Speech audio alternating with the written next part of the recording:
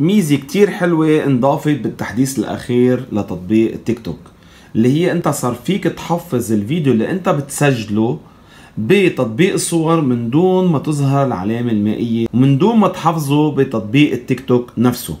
أول شي بتروحوا على ال App Store بتدخلوا على تيك توك بتشوفوا إذا بده تحديث ولا لأ. الإصدار الأخير نزلت فيه الميزة اللي هو 30.8.0 بس تدخلوا على التيك توك أنتم حابين تسجلوا فيديو بتكبسوا على الزائد.